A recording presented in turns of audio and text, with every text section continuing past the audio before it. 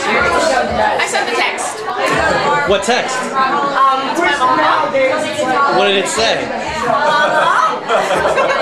I just killed a man? Have a happy Saturday. Don't think that's what the text message said at all, Jessica. Let's check the cell phone out box. Yeah, I can zoom right into that. Let's go. Well, I cleaned mine out. Uh, every five seconds. That's good.